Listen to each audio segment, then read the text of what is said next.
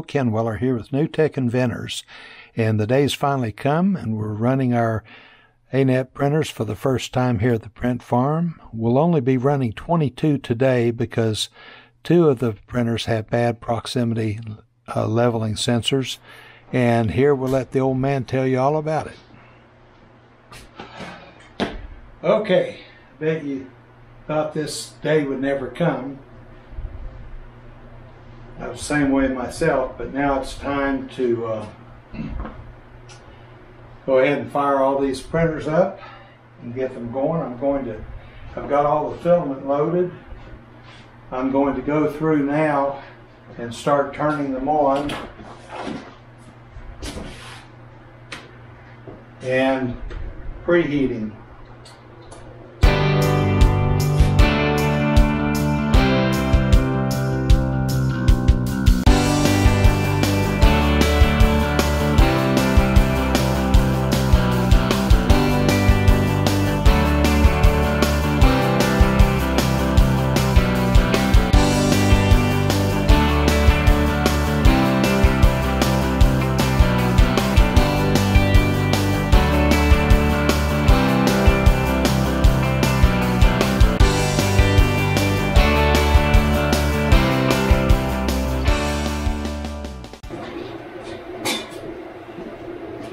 Okay.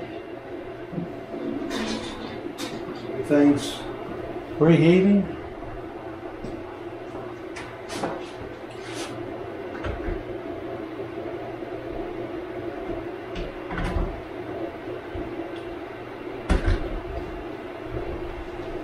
And yeah, we're drawing some current. Okay. Let's start printing.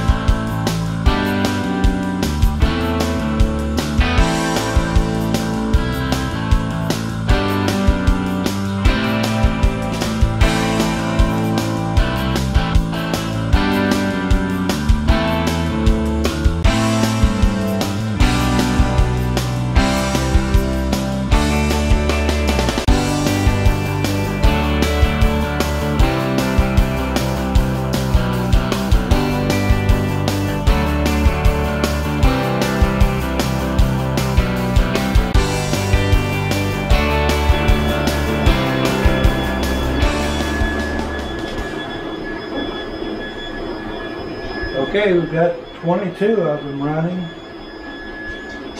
Uh, and I just checked the power.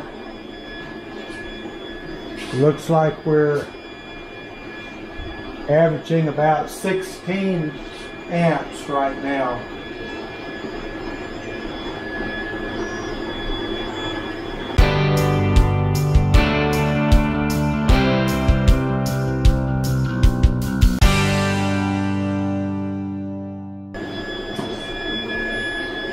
Lost adhesion on one of the parts on this one.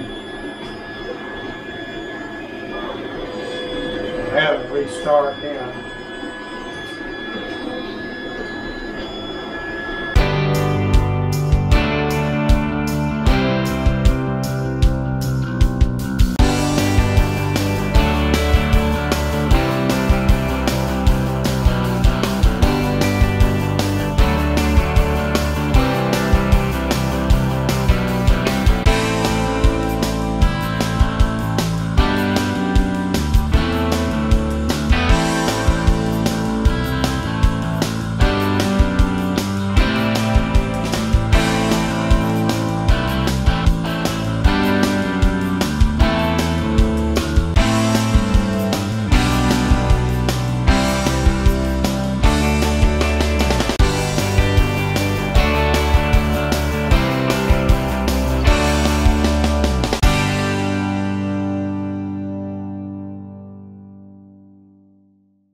Okay, we're just sitting here letting these printers run.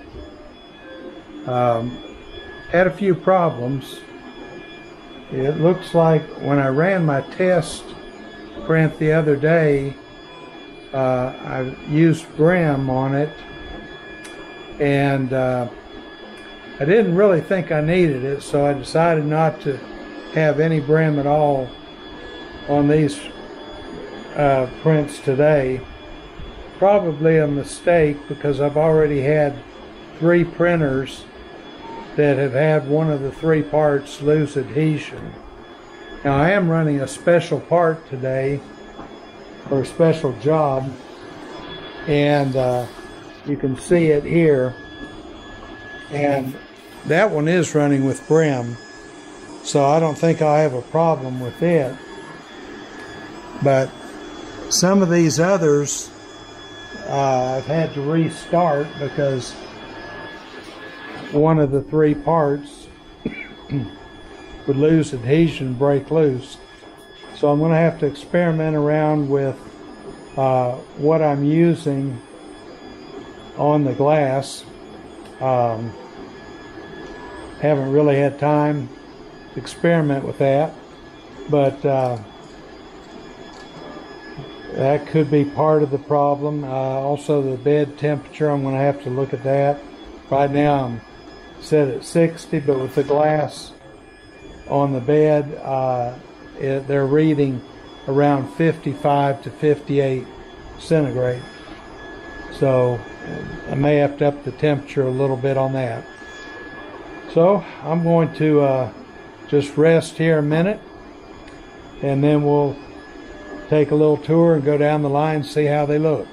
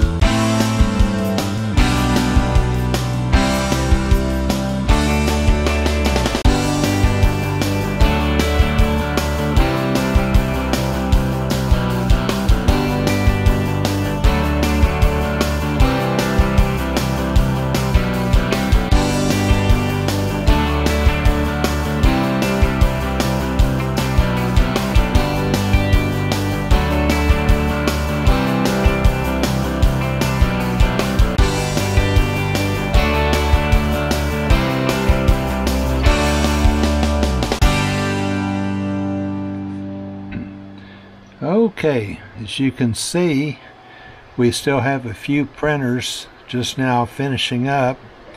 These are the um, ANET ET4 Pro printers, and you can also tell it's a lot quieter in here. Uh, these ET4 Pro printers uh, do run a whole lot quieter than the other ANETs. And um, it looks like uh, we have maybe two of them that aren't quite finished yet. And as soon as these printers are finished, uh, we've got one printer that's going to print all night, a little longer job for us. But we're going to be removing the filament uh, from these printers and then powering them down for the night.